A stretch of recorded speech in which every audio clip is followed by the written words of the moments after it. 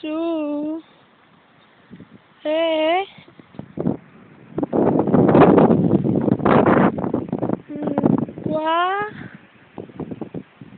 pa y el corazón alrededor un poco chungo pero esto es de anime.